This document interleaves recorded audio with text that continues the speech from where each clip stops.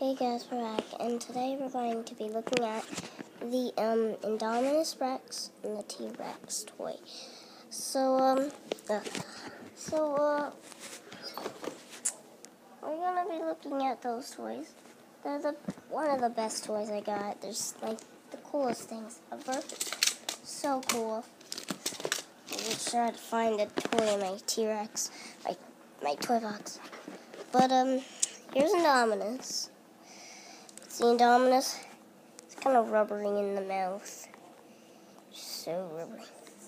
It's cool. Um, so show you. But first, we're gonna look at T-Rex. Oh, there, his head sticking out. It's kind of um like like dark in here. There's lights on that. I'm gonna turn it on. Let's see, what one is it? Oh god. Nope. Nope. Uh, yes. Okay. Lights on. Right. Now can see better. And we got both of the toys out. So, um, so we're gonna look at this guy, T-Rex. So, oh my, he he looks kind of cool. The thing I don't like about this is because his feet looks weird. Like they look kind of weird, though, to me. To me, they do.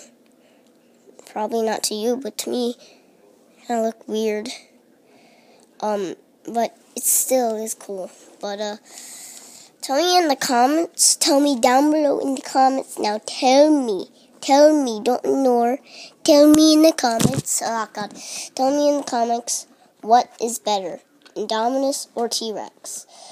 Um, so, uh, this guy also can there's a button right there.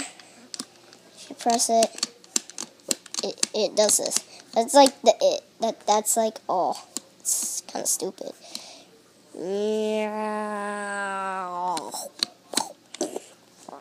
Um so he's really cool.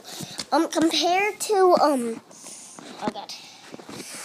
So this guy compared to a little T-Rex. This guy um, yeah, what one of these do you think's better? This little guy can do way more stuff than him, but he's way bigger and kind of opens his mouth. But this guy also opens his mouth too, though. Like,